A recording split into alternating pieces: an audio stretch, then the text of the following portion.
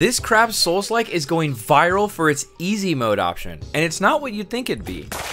Another Crab's Treasure is a fresh take on the Souls-like genre that features a healthy list of accessibility toggles, which allow players to up the forgiveness of things like dodge roll, invincibility, HP levels, and a gun. A big gun. That's right, if you're ever feeling too frustrated with the game or just need a moment to de-stress, you can give Krill a gun that will one-shot anything with the press of a button. Yes, even bosses. Because why shouldn't you be allowed to have fun in a video game? And if you're not really about the gun life, there are plenty of other wacky shells to try on and use. For example, the tin can gives you a skill that electrocutes enemies that hit your shell, while the little red cup lets you access Drunken Claw, which is an attack buff that worsens your dodge roll. Another Crab's Treasure is planned for release in 2024, but if you want to jump the gun on giving it a try, a free demo is available now on Steam.